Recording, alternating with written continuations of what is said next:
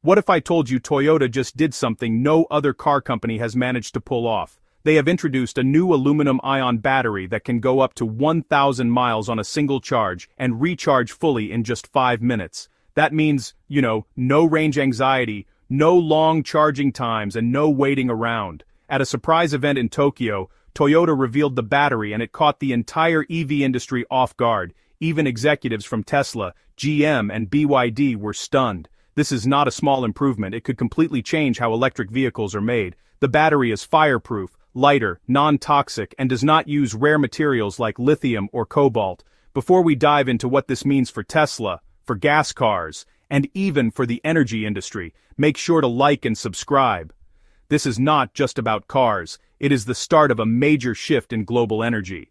For years, people believed lithium batteries were the future, and solid state was the big goal, but Toyota just changed the conversation with a quick presentation that left everyone shocked. A 1,000 mile range, a 5 minute charge, no lithium, and no cobalt.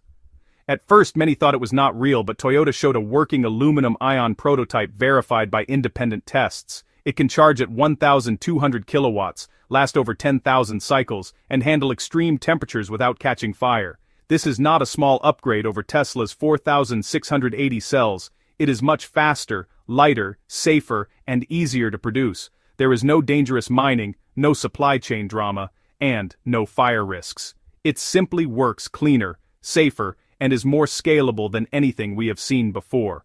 And the material behind it, aluminum, is not rare, not toxic, and not buried under monopolized territories. Aluminum is the third most abundant element on Earth, and it is already mined, traded, and recycled globally. Toyota did not just improve EV batteries, they detonated the entire supply chain map. Here is the shocker. The charge capacity is not a theoretical dream. It has been field-tested, lab-tested, and fast-tracked for mass production by late 2026.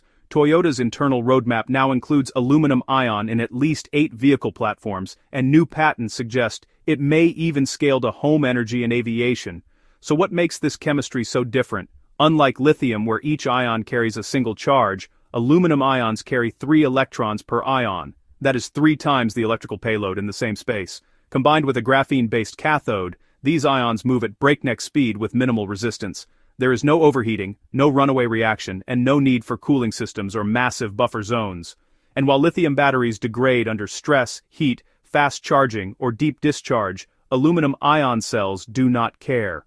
Toyota's prototypes were frozen, then superheated, crushed, punctured, and short-circuited. Nothing exploded, nothing vented gas, not even a spark. That kind of stability is not just safer, it is disruptive. You can mount these batteries under seats, inside doors, anywhere in the frame. There is no fear of fire for regulators, insurers, and fleet operators. That changes everything. But here is the twist. While the public marveled at the specs, insiders panicked over what was not said. Toyota did not mention lithium, not once. There was no comparison, no backward compatibility, just a cold silent message to every automaker still betting on lithium-ion. You are now behind. Tesla, BYD, GM, and others were all caught off guard. Supply contracts, mining deals, and billion-dollar gigafactories are suddenly at risk because this new battery does not use the same playbook. It does not need lithium extraction from South America. It does not require cobalt from Congo. It does not care about geopolitics and the range. This was not marketing math. Toyota's prototype sedan completed 1,000 miles on a closed track using a single charge while carrying the equivalent payload of a Camry. There was no hypermiling, no stripped-down test car, just real-world driving, a real load and real speed. The implications are staggering. If mass-produced at scale, this would make current EVs obsolete in both cost and performance. Charging infrastructure would shrink. There would be no more waiting 30 minutes. Highway rest stops would become 5-minute pit stops just like gas. But, it is not just the speed, it is the chemistry itself. Aluminum is fireproof, non-toxic, recyclable at 96% efficiency, and, most importantly, it does not rely on scarce minerals hoarded by a handful of suppliers. That is where lithium begins to crumble. For two decades, it was not just the backbone of clean energy, it was a monopoly controlled by a tight cartel of miners, processors, and middlemen from Chile to China.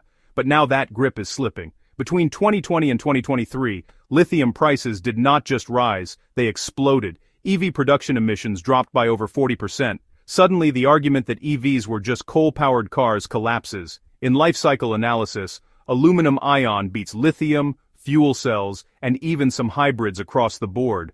For governments pushing for carbon neutrality, Toyota did not just offer a car, they offered a shortcut.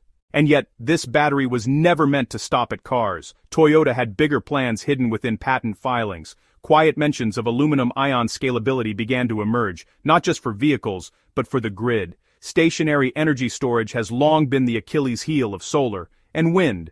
Lithium packs are expensive, volatile, and degrade quickly under constant cycling. But aluminum ion thrives under load. It does not mind deep discharges. It can sit dormant for months or pump power for years.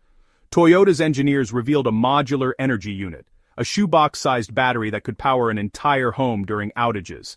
It is stackable, safe, silent, and fully recyclable for off-grid living and renewable farms. It was a game-changer. Entire microgrids could run off aluminum with zero emissions and zero risk. And the fuse was not just burning, it was igniting a chain reaction that would redefine the very landscape of power and mobility. For decades the electric vehicle race had been a linear sprint on a single well-defined track increase energy density, reduce charging time, and lower the cost of lithium-ion cells. Every major player from Tesla with its relentless vertical integration to China's BYD with its blade battery was playing by the same fundamental rules competing for a marginally better position within a predetermined framework.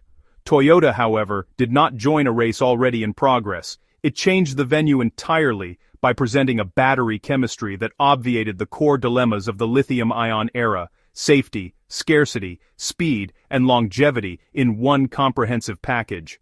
Toyota had not merely unveiled a new product, it had effectively invalidated the trillion-dollar roadmap every other competitor was following. And the ripple effects had not stopped. Patent offices in Europe, the US and Asia reported record filings related to aluminum ion chemistry, many with Toyota's name at the top. Universities were flooded with grant money, startups pivoted overnight, governments rewrote policy memos. This was not a ripple, it was a rift. Inside boardrooms from Detroit to Munich, a single question now echoed, is it too late to catch up? Because Toyota was not slowing down. They had already mapped their next move in aluminum-ion integration into industrial transport, marine shipping, and even robotics. Their vehicles would soon power homes, their energy systems would soon stabilize grids, and their battery, that silent, unburnable slab, had become the single most valuable object in the entire auto industry. Elon Musk's team, despite the noise, had not cracked it. Chinese giants scrambled for alternatives, and the lithium lobby, once the gatekeepers of the EV, saw their walls begin to crumble. The next chapter of the energy race was not going to be about lithium anymore, or cobalt, or oil. It would be about who controls aluminum ion and who gets left behind. Because the old world ran on combustion, the new one will run on something else entirely. And Toyota just lit the fuse.